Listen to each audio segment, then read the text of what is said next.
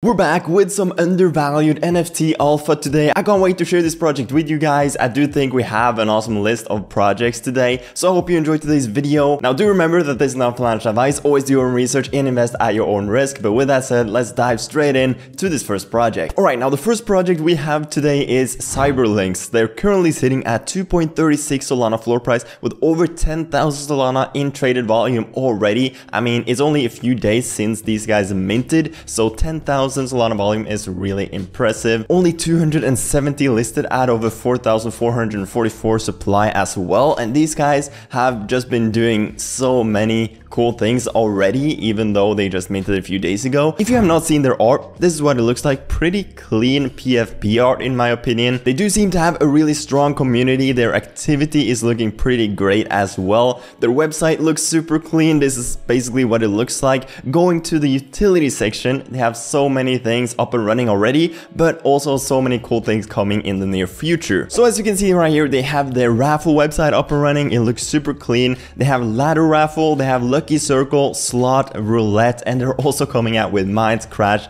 Dices, Coin Flip, Lucky NFT, Lottery, Chests, and RPS. So they're basically building an entire casino and they have already multiple games up and running. They actually had that pre-mint, which we love to see. We love it when projects actually create utility and kind of show us what they're capable of before they actually go ahead and mint. They also are doing these airdrops right now, which is pretty cool. Basically airdropping these NFTs right here that you will get by holding certain ranks and certain amount of their Cyberlinx NFTs. And these airdrops will basically give you staking multipliers. They're also coming out with a code game in the future, which sounds really interesting. Now I don't know exactly how this will work, but it at least sounds really interesting. And checking out the roadmap real quick, they always have like staking, raffles, slot machine, their coding game coming soon. They have auctions, rock, paper, scissors, and obviously all of the other casino games that I just showed you. So they're doing so many cool things. And I definitely think that this team is super talented and it's definitely a team that I believe in long term. Next up on the list, we have Solana Puppy Pounds. You might remember these guys if you're an OG in the space because this was a super successful project like six, seven months ago. But this was the same team that created created Vandal City, so it did seem like they kind of just left this project, rugged it to go and build Vandal City instead, but it might seem like they're actually coming back for Puppy Pound Season 2. If we go over to their Twitter, they had basically not tweeted anything for like 6 months back in like March,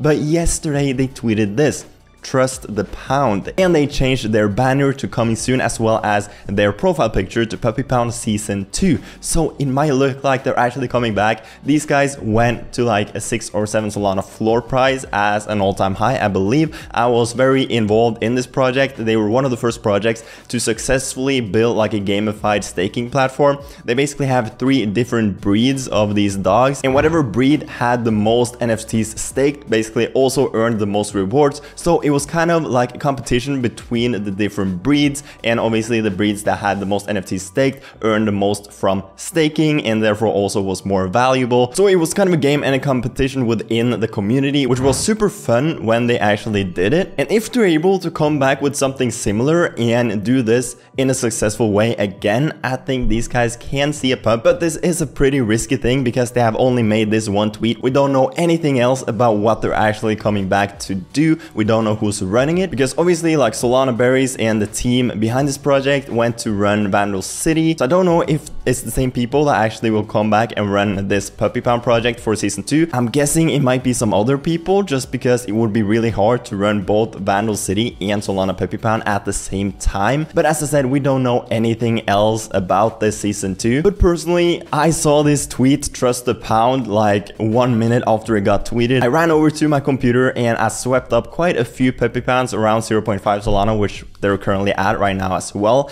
They did pump up to 1 Solana right after this tweet, but they're right now back down to 0.53. Looking at the activity, they had like zero activity for over three months, but now the activity is looking pretty strong again because people are seeing that they're probably coming back for season 2. And just the fact that it's the same team that built Vandal City, it means that these guys have great connections in the space. They might go ahead and collab with Vandal City to promote this season 2. Like who knows? They really have a lot of opportunities to go ahead and make this a successful project again and kind of derug it. But as you can tell, tell, we do not know too much about this new season. We don't know who's running it and stuff, so it is pretty risky. But I'm involved, I picked some up, and I'm really interested to see where this goes. Next up, we have Jiken or Jikan Studios, however you want to pronounce it. Currently sitting at 6.5 Solana, closing in on 100,000 Solana in traded volume. Only 400 listed out of an 8,888 supply.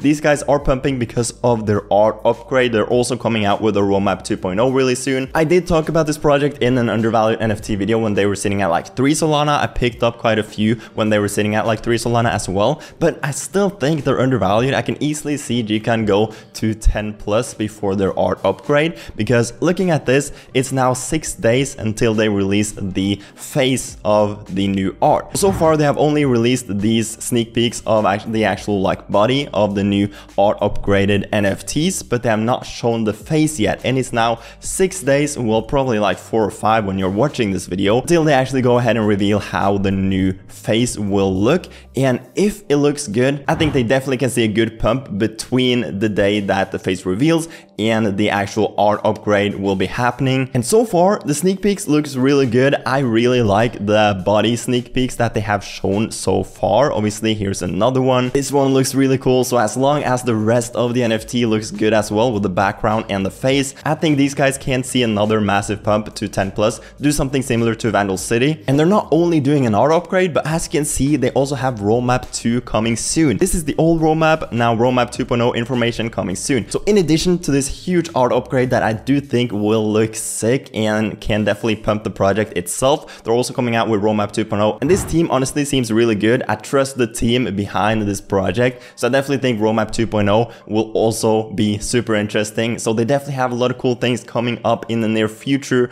So Jikan Studios is another one that I'm betting on. I currently hold five, I believe. I might actually be picking up a couple more before their face reveal of the new art. But Jikan Studios, I really like the project and I definitely think they can see 10 plus floor price. Now moving on to some honorary mentions that I also think will do really good in the next couple of months. We have SolGods. They reached an all-time high of like 65 Solana back in like the previous bull run. They are really on the grind and I definitely think these guys will do some crazy things.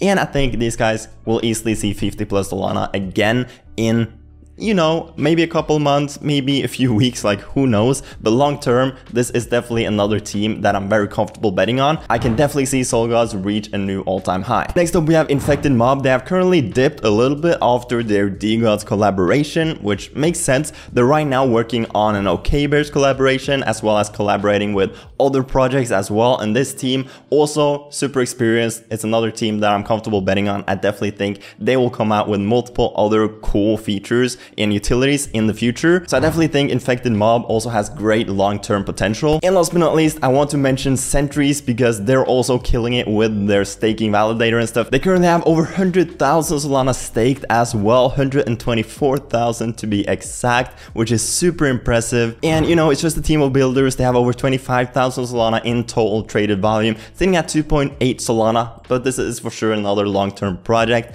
that I would feel pretty confident betting on. The only problem problem I have with this project is that I'm not a huge fan of the art. I would love it if they came out with a solid PFP art upgrade. If they did that, I think Sentries would pump like crazy personally. So that's my tip to the team. But honestly, this isn't really like an art project. It's more like utility play. They're bringing so much utility to the entire space, you know, but with a good art upgrade and some solid PFP art in addition to that, I think this project would go crazy. But anyways, Sentries is the last project in today's video. And there you go, those were the three projects plus three honorary mentions today. I like all six of these projects. I think all of them has great long-term potential. Let me know which one was your favorite down below in the comment section. If you enjoyed the video and got any value from it, do consider to smash a like, subscribe down below, of course. Check out my Patreon, my Twitter, my Discord. The links to all of these projects is also down below in the description if you want to check that out. Now with all of that out of the way, I hope you have a fantastic rest of your day, and I'll see you guys later.